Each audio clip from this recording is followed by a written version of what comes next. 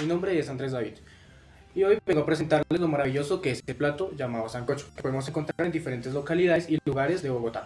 Belén García.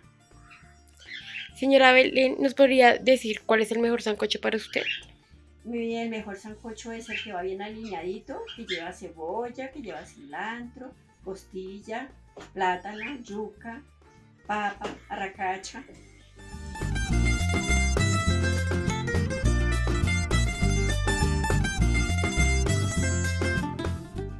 Hola, muy buenos días. Mi nombre es Rachel y les voy a hablar sobre el sancocho.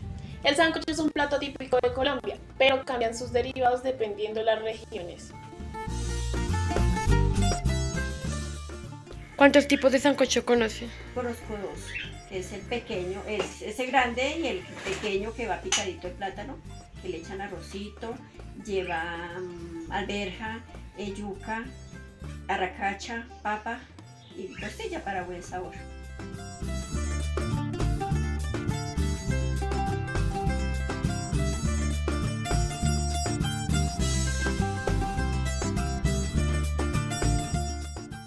Buenos días, mi nombre es Jennifer y el día de hoy les vengo a relatar para mí qué es un sancocho.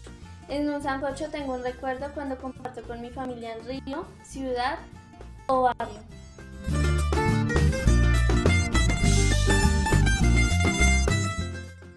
Estefanía Calderón, les voy a contar una anécdota que yo tuve. En esta se mostró la unión que podemos tener las personas y a través de un sancocho, al ser una comida, también es un plato que nos va a traer demasiados recuerdos para todas las personas. Una vez fuimos a Boyacá y nos dieron sancocho con, con costilla de cabro y muy feito, no me gustó.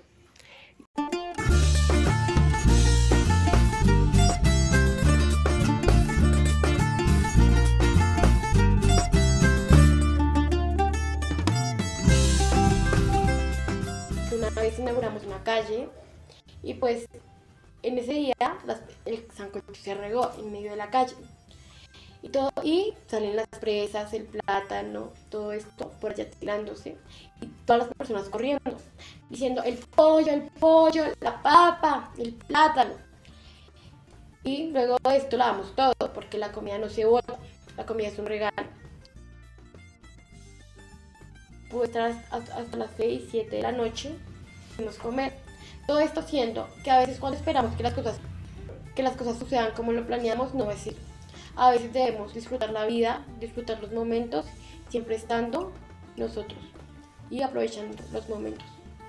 ¿Usted cree que en los restaurantes cuando dicen que hay sancocho, es el sancocho que usted quiere o no? Mm, No, ¿Por qué? no, porque no es como el que uno prepara en la casa. ¿Le faltan ingredientes o el sazón? Ingrediente y sazón. Listo, muchas gracias.